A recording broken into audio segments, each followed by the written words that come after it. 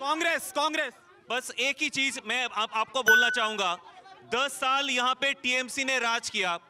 BJP अभी तक power में नहीं आया। उससे पहले 34 फोर ईयर्स यहाँ पे सीपीएम ने राज, आ, सरकार का था। उससे पहले 20 साल का सरकार था कांग्रेस का। और वो कोई भी सरकार हिंदू या मुस्लिम के वोट से नहीं बना था वो सरकार बना था बंगाल के आवाम के वोटों से। वहाँ पे हिंदू मुस्लिम मैटर नहीं करता है। मैं समस्याओं का ज़िक्र कर रहा हूँ इस पर बात करिए हिंदू मुस्लिम पर ज़िक्र अच्छा वो सवाल पहले था और ये जो आप दिखा रहे हैं ये बस स्टैंड का प्रॉब्लम तो यहाँ रहते हैं क्या सच्चाई है बताइए जरा। मैं सॉल्ट लेक का लोग हूँ यह दुकान के पानी यहाँ से ले रहे हैं और ये जो नल और ये कल नहीं बना है नहीं बना है जो नहीं बना है वो जिसने नहीं बनाया जो पावर में था और जिसने नहीं बनाया आज वो बीजेपी में है।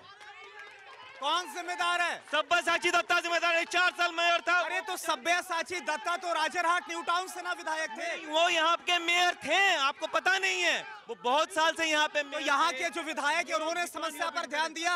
यहाँ के टीएमसी विधायक ने समस्या पर ध्यान दिया। थोड़ा पहले तो आप थोड़ा न्यूट्रली सवाल पूछिए। आप हम न्यूट्रल सर हम समस्या पर सवाल पूछते हैं। आपको लगता है हम न्यूट्रल नहीं हो रहे आपको आप आप तब हम समस्या पर सर सवाल पूछ।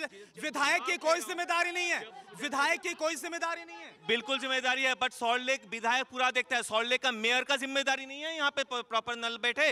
और जो बैनर चार साल से पैसा खा के चला गया वो तो नल लगाया नहीं। परवाह देश की।